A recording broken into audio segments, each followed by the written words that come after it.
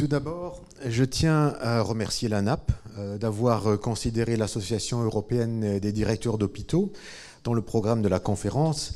C'est avec un immense plaisir que je tiens à féliciter l'ANAP pour l'excellente conférence qui nous a permis de faire le point sur les importants défis que nous devons relever dans le secteur de la santé par rapport à son évolution, notamment au regard de ce que nous avons vécu au cours des deux dernières années euh, en soins critiques. Nous savons et nous le constatons euh, au quotidien que le secteur de la santé et des hôpitaux est en constante euh, évolution. Nous sommes confrontés à des exigences liées à la haute technicité des équipements, à l'évolution galopante de la médecine et de la science, à la nécessité de respecter les règles et des procédures toujours plus complexes. Euh, notre mission est d'œuvrer dans l'intérêt des patients, tout en tenant compte des besoins liés aux acteurs hospitaliers et à une saine gestion de nos structures. Le management hospitalier requiert des compétences à large spectre et un fort leadership. Je tiens donc à insister tout particulièrement sur l'importance des échanges d'expériences dans le domaine qui est le nôtre.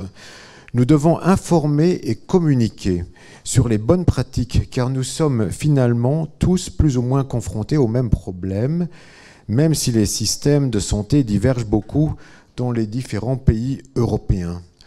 Nous sommes des acteurs responsables qui recherchent tous l'efficacité et l'efficience dans un rapport d'équité. Nous essayons de partager une vision commune des améliorations à apporter. Mettons-nous d'accord sur ce que nous voulons et sur ce que nous ne voulons pas.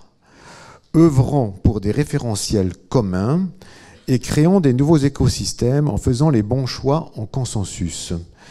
Il n'est pas nécessaire de réinventer la roue, mais d'apprendre les uns des autres par rapport à ce qui fonctionne bien. Osons une vision européenne grâce à des actions de benchmark prouvant ce qui est clair et réalisable. Dans un souci de constante amélioration de la qualité, il faut savoir faire les bons choix. Ces choix devront alors aussi être efficacement transposés dans la pratique nous devrons disposer de ressources nécessaires pour ce faire, que ce soit en personnel ou à un niveau financier. La crise sanitaire nous a rappelé que nous devons optimiser nos ressources. Nous avons pris conscience des faiblesses de nos systèmes et nous savons euh, que ce sont les périodes de crise qui sont les plus favorables au changement. Il, en va de notre devoir et de notre responsabilité J'insiste sur l'importance de tenir compte des leçons du passé et de prioriser les aspects formation par rapport aux nouveaux défis qui nous attendent, notamment au regard des nouvelles procédures à mettre en place et des nouvelles technologies à utiliser. L'importance croissante de la digitalisation, notamment l'exploitation des données, les plateformes d'échange des données, la protection des données évidemment, la collaboration aussi avec l'industrie et la recherche, etc.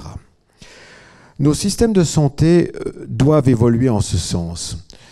Les soins de santé euh, doivent être basés sur la valeur, la value-based healthcare. Il faut repenser l'organisation euh, des soins par rapport à la nouvelle donne induite par des exigences de plus en plus strictes. La collaboration entre les différentes catégories d'acteurs de santé sera essentielle en ce sens. Nous devons savoir convaincre et agir dans un esprit de confiance mutuelle.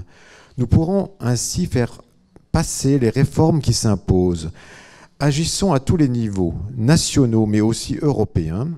Transposons nos idées. Les choix seront parfois difficiles à faire, mais la machine est en route. Nous avons identifié au niveau de l'association un certain nombre de priorités à prendre en compte dans le cadre des activités et des compétences des gestionnaires hospitaliers à la lumière de l'évolution des environnements politiques et socio-économiques en Europe. Les nouvelles technologies liées à l'innovation et au progrès scientifique, ainsi que les contraintes légales et financières, nous obligent à repenser nos collaborations au sein de notre secteur hospitalier, mais aussi avec les acteurs de l'industrie et de la recherche. Petit problème de micro. Ah voilà, ça remarche. Tout cela devrait évidemment se faire dans un souci euh, constant d'améliorer la cybersécurité et de respecter les garanties nécessaires en matière de protection des données personnelles, les compétences managériales et de leadership des directions hospitalières doivent être en phase avec ces évolutions. L'Association européenne des directeurs d'hôpitaux l'a compris et s'engage activement pour défendre ses idées et la mise en place des réformes nécessaires à tous les niveaux. Nos actions seront de différentes natures, notamment en y impliquant tous nos partenaires et la NAP, qui est un membre associé de l'Association européenne des directeurs d'hôpitaux. On fera évidemment partie et nous nous réjouissons donc de la collaboration future, notamment dans le cadre de groupes de travail ou autres activités que nous pourrions euh, réaliser en commun. Et merci d'avance pour votre engagement. Je vous remercie. Merci beaucoup.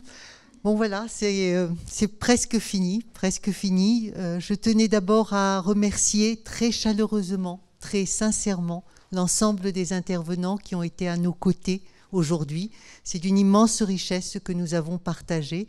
Et en tout cas, euh, euh, dans votre euh, enthousiasme, dans vos engagements, quelque chose d'extrêmement prometteur qui s'est exprimé aujourd'hui. La NAP, c'est votre maison, je voulais vous le redire également. Vous avez évoqué chacun l'idée que c'est en partant du point de vue des professionnels, des propositions des professionnels, que les choses changent. Nous n'avons pas besoin de tellement plus.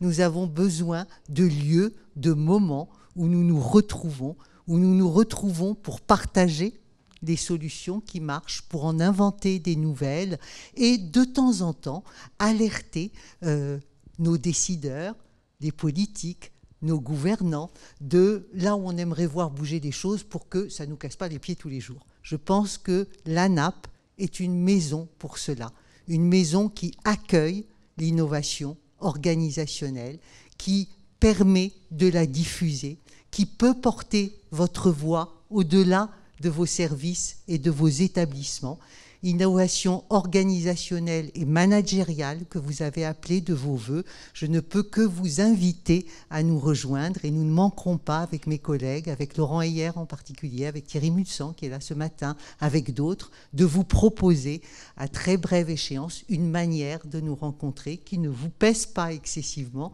mais qui permette de temps en temps de revivre avec grand plaisir ce que nous avons vécu aujourd'hui. I hope speed dating did work during lunchtime and I hope J'espère que notre petit speed dating a marché. J'espère que dans quelques semaines, à Bruxelles ou à Strasbourg, nous aurons l'occasion de nous revoir. Merci beaucoup.